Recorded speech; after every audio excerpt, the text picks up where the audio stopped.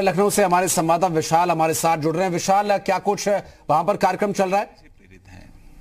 क्योंकि पूरा ये जो कर्मचारियों का भविष्य निधि का जो पैसा है, वो कहाँ निवेश होगा, कैसे निवेश होगा तो कर्मचारियों का जो एम्प्लॉयज़ हैं हमारे, उनका एक ट्रस्ट बना है। और ट्रस्ट का जो चेयरमैन है ट्रस्ट के जो ट्रस्टी हैं, वो तय करते हैं। मंत्री का इससे कोई सरोकार नहीं होता। और इसमें जो शिकायत आती है, अब जैसे शिकायत आई हमारे पास तो हमने शिकायत आते ही तुरंत शिकायत का संज्ञान लिया और अविलंब कार्रवाई करते हुए जो लोग प्रथम दृष्टा दोषी थे, उनको जेल भेजा गया। और इस पूरे प्रकरण की गंभीरता को ध्यान रखते हुए इस पूरे प्रकरण को सीबीआई इसकी जाँच करे, ऐसा रिकमेंडेशन ऊर्जा मंत्री की तरफ़ से गया। और मुख्यमंत्री ने उसको डीओपीटी को भेज दिया। तो जो आरोप लग रहे हैं वो राजनीति से प्रेरित हैं। मंत्री का इससे कोई सरोकार नहीं होता, नंबर एक, क्योंकि पॉलिटिकली मोटिवेटेड हैं। नंबर दो, आरोप लगाने वाले अगर मुझ पर आरोप लगा रहे हैं तो वो इन आरोपों का ज़रूर जवाब दें कि इसकी जो पटकथा है, वो 2014 में लिखी गई। तब तो श्रीमान अखिलेश यादव जी मुख्यमंत्री थे। उनको जवाब देना चाहिए। और उससे पहले ही मायावती के समय से ये प्रोसेस शुरू हो गया था, मायावती जी के समय से।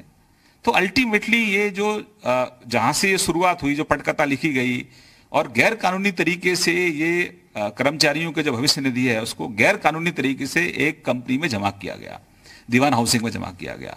और इसीलिए सरकार के संज्ञान में आते ही हमने कार्रवाई की। तो ये जो आरोप है, ये पॉलिटिकल मोटिवेटेड है। और मैंने तो निजी आरोप कांग्रेस के अध्यक्ष श्री लल्लू जी ने मेरे ऊपर लगाए थे।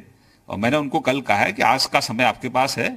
या तो अवलंब सार्वजनिक रूप से आप माफ़ी मांगे, नहीं तो मैं आपके पास, आपके खिलाफ आपराधिक मानहानि का मुकदमा दर्ज करूँगा, क्योंकि ये सरकार बहुत पारदर्शी है, ये सरकार ट्रांसपेरेंट तरीके से काम करती है, और सरकार की जो लोकप्रियता है, वो विपक्ष के लोग पचा नहीं पा रहे हैं। आज जिन गाँवों में अंधेरा था, वहाँ रोशनी पहुँचाने का काम हमारी सरकार कर रही है। जिन झोंपड़ियों में सत्तर साल से अंधेरा था, गाँव के, गाँव में वहाँ हम बिजली पहुँचा रहे हैं। तो हमने डेढ़ साल के अंदर ये, एक साल पहले की बात कर रहा हूँ मैं आपको तो एक करोड़ दस लाख लोगों को हमने कनेक्शन दिए। आज 48 घंटे में हम गाँव में ट्रांसफार्मर बदलवा रहे हैं। तो लोगों को बिजली दे रहे हैं तो अखिलेश यादव जी की दर्द यह है कि वो केवल चार जिलों को बिजली दे पाते थे, पूरे प्रदेश को उन्होंने बिजली नहीं दी। और कांग्रेस की दिक्कत यह है, कांग्रेस आकंठ भ्रष्टाचार में डूबी है, उनके पास ज़मीन नहीं है तो झूठ बोलकर कहीं ना कहीं ज़मीन तलाशने की कोशिश कांग्रेस के लोग कर रहे हैं। प्रदेश में अब ये नहीं होगा। एक बड़ा सवाल ये है कि अखिलेश यादव आरोप लगा रहे हैं लेकिन एपी मिश्रा की अगर हम बात करें तो तीन तीन बार एक्सटेंशन दे दिया गया। इंजीनियर को यूपीपीसीएल के एमडी पद पर तैनात कर दिया गया। जैसे ही सरकार बनती है वो इस्तीफा दे देते हैं। डीएचएफएल को जो बकायदा किस्त जारी होती है तो आरोप वो आपके ऊपर लगा रहे हैं कि आपकी सरकार में इस तरह से हुआ। लेकिन एपी मिश्रा का जो नाम है वो उनकी सरकार में लगातार रहे। यहाँ तक कि किताब का विमोचन भी कराया उन्होंने। देखिए यही फ़र्क है। अखिलेश जी की सरकार में और हमारी सरकार में। अखिलेश की सरकार में नियमों को ताक पे रखकर एक एमडी बना दिया आपने, किसी इंजीनियर को और एक्सटेंशन भी देते रहे। मेरी सरकार में अगर एक डायरेक्टर कहीं गलत काम कर रहा है तो मैंने उसको डिमोट करके इंजीनियर बना दिया। तो एक जगह प्रमोशन एक जगह एक तरह काम कर रहा है तो मैंने उसको डिमोट करके इंजीनियर बना दिया। तो एक जगह प्रमोशन एक जगह एक तरफ़ डिमोशन तो ये आपको इससे अंदाज़ा लगा सकता है कार्यशैली दोनों सरकारों की कैसी है। दूसरा, अखिलेश जी इन बातों का जवाब क्यों नहीं देते हैं? कि जब आपने नियमों को ताक पर रखकर 2014 में आपने इस पूरी पटकथा लिखी और आपके इशारे पर किसने लिखी, इसका जवाब तो आने वाले समय में जो जाँच एजेंसियाँ काम कर रही हैं, जो जाँच हो रही है, वो क्यों हो रही है? वो जाँच इसीलिए हो रही है कि जो कर्मचारी हैं, उनकी भविष्य निधि पर डाका किसने डाला? उसका षड्यंत्रकारी कौन था? उसका मास्टर माइंड कौन था? यही तो सीबीआई की जाँच में खुलासा होगा। यही तो अभी जो ईओडब्ल्यू जाँच कर रहा है, इसमें खुलासा होगा। तो दूध का दूध, पानी का पानी होगा। अखिलेश जी, चिंता मत करो। जैसे खनन घोटाले में हाई कोर्ट ने आदेश दिए कि सीबीआई आपके खिलाफ जाँच करे।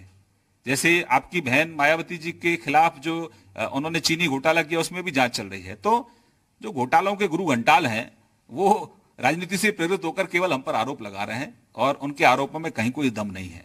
अच्छा एक सवाल ये है कि एपी मिश्रा जी जो इनको गिरफ़्तार किया गया है, इनके ऊपर ये भी आरोप लगा था कुंभ के दौरान कि काफ़ी करोड़ों रुपए का इन्होंने घोटाला किया है, बिजली सप्लाई को चूँकि नोडल अधिकारी भी वहाँ पर थे ये।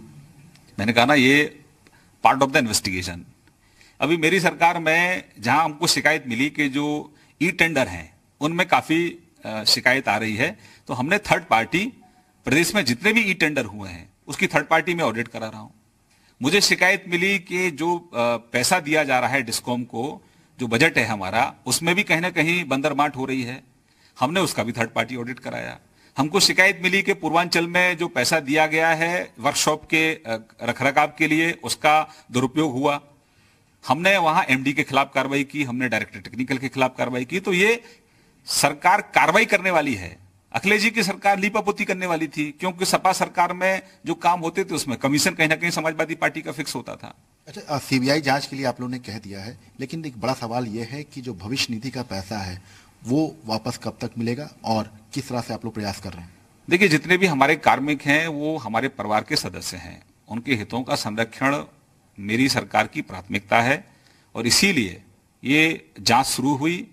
और मैं आपको आश्वस्त करना चाहता हूँ आपके चैनल के माध्यम से अपने कर्मचारियों को कि उनके उनके साथ छल जिन लोगों ने किया है, जिन लोगों ने उनको धोखा दिया है, चीट किया है, ऐसे लोगों को बख्शा नहीं जाएगा। चाहे पूर्व में जो लोग रहे हैं, चाहे वर्तमान में हैं, बचेगा कोई नहीं। और जो लोग भी इसमें दोषी होंगे, उन सबकी संपत्ति को जब्त करेंगे और कमी पड़ेगी तो सरकार उसमें सहयोग करेगी, लेकिन किसी कर्मचारी को डरने की ज़रूरत नहीं है। सबका पैसा निश्चित रूप से सरकार ये प्रतिबद्ध है कि उनका पैसा उनको मिलेगा। अच्छा एक आखिरी सवाल आ, इसकी जद में भी कुछ और भी अधिकारी आ सकते हैं क्योंकि घोटाला काफ़ी लंबा है पिछली सरकार का। मैंने कहा जाँच हो रही है ना? जाँच 2014 से लेकर आज तक जाँच होगी? बचेगा कोई नहीं इसमें। ये सरकार कहीं छुपाना नहीं चाहती किसी से कुछ। ये पारदर्शी सरकार है। जो भी दोषी होगा बचेगा नहीं। मेरे यहाँ लूटने की छूट किसी को नहीं है। जवाबदेही तो सबकी तय होगी। आखिरकार ये जो लूट हुई इसमें आँख बंद करके कोई क्यों बैठा रहा? तो इसमें बचने वाला कोई नहीं जवाबदेही सबकी तय होगी। कह सकते हैं कि लगातार इस घोटाले को लेकर गिरफ्तारी हो रही है और अब जबकि लगातार विपक्षी खेमा सरकार पर सवाल खड़ा कर रहा था, उस दौरान अब एपी मिश्रा की गिरफ्तारी हुई है, जो पिछली सरकार के काफ़ी करीबी माने जाते थे और ऊर्जा मंत्री का साफ़ तौर पर कहना है कि जवाबदेही तय होगी और जो पैसा फंसा है, वो पैसा जो जितने भी श्रमिक है, उनको मिलेगा। साथ ही साथ इस पूरे मामले में जो भी अधिकारी दोषी होगा, उसकी संपत्ति भी अटैच की जाएगी और उस संपत्ति से जो है लोगों का भुगतान कराया जाएगा, अगर ज़रूरत पड़ी तो।